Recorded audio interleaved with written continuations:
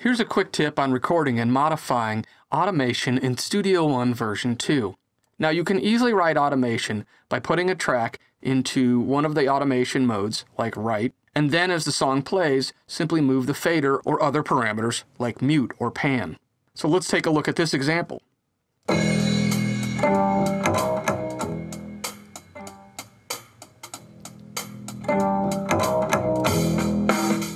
Now that I've written some automation, I'll click this little status button, or automation mode, and I'll set it to read. I'll rewind to the top and listen to what I've done.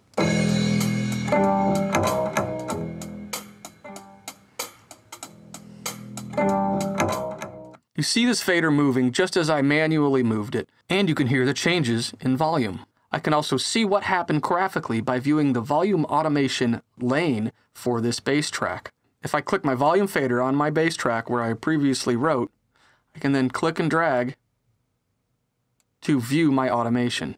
Now this song starts right at the beginning. And what I'd really like to do is create a fade in. Doing this manually can be a little bit sloppy and timing can be also tricky when you're trying to do it on the fly. So rather than trying to manually write automation in real time, let's do it graphically. I'm going to undo this write automation. And now I'm going to go to the paint tool here. Now I could do this freehand, and it'd work.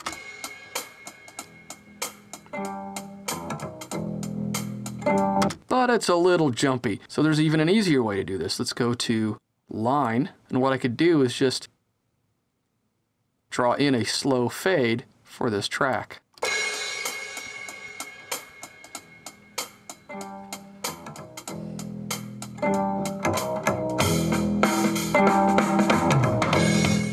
You could also use some of the other tools here. For example, I could make a parabolic fade.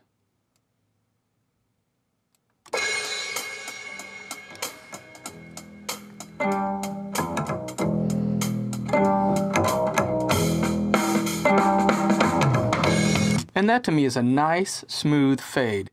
Since the hi-hat starts along with the bass, I could do the same thing on my hi-hat track. And since my overheads are picking up hi-hat as well, and there's a crash there, I'll do the same thing on that track.